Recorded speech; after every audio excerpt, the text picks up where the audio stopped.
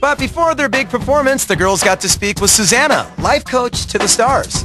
In this never-before-seen moment, a few of the girls got valuable insights in their one-on-one sessions. How are you? Good. This is our time to do our one-on-one. Okay. And um, I'm going to get to know you a little more. I'm just going to tell you my first impression.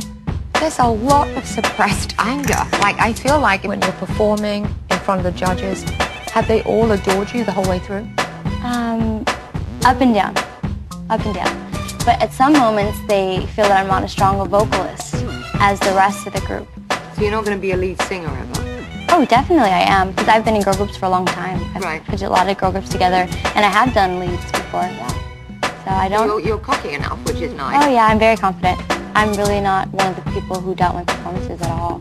So everything up to this point that's negative, you've overcome from Yes. what you're telling Mm-hmm. me. I have. Oh yeah.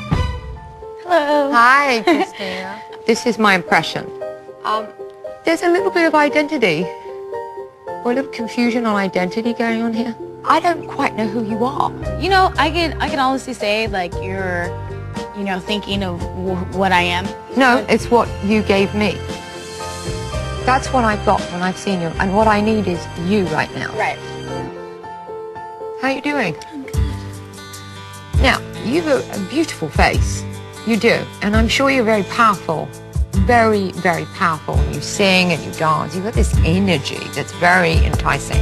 I want you to give everything you've got because you deserve it. You created this moment. And everything that is talented in you, everything that's powerful, is all going in that. This is it. And I bet you could blow the room out. Last had a few things to say. I felt that you weren't telling, being honest at all, and I think that was cool. Honest about what? I, about the whole situation with Ken, you know what I mean? I had to beg you to go back in there. No, you didn't. Yes, I did. You didn't. I looked over at Carrie and I was like, I was looking at her, I was like, you know what? It would make me look like a punk if I didn't go back in there. I told you that. I feel it makes you look like a punk. What I would do, I stand up for myself all the time. I'd go back in there if I were you. I just want to say that for me, at that moment, it was an insecurity and it was a weakness, and that is why I walked out. And it had nothing to do with how angry I was. It was how angry I was at myself. The way you described it is like, you know, I had to, I had to, I had to step outside for a breather, and I, I walked right back in there. But that wasn't true. Like you stepped out because you were pissed. I was pissed. I was also hurt. The way you made it seem is not how it really was. What you explained happened was not the truth. Yes, it was. Whether or not you were there, I would have walked back in that room. And I swear that to God. I would have walked back in that room. And that's why I did it. You didn't put a gun to my head. You know what I'm saying? And, and so you don't take credit for that because I walked in there. You see what I'm saying? And I apologize.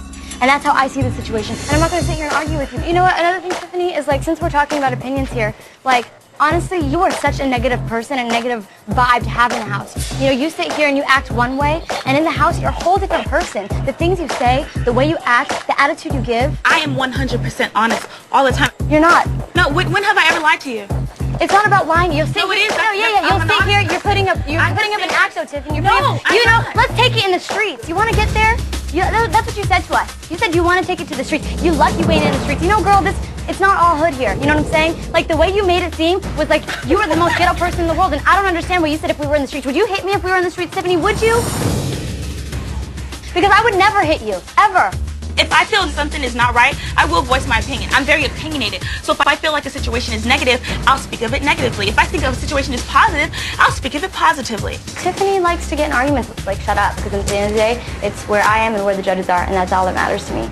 Talk to the wall, talk your opinion. In the end, Jenna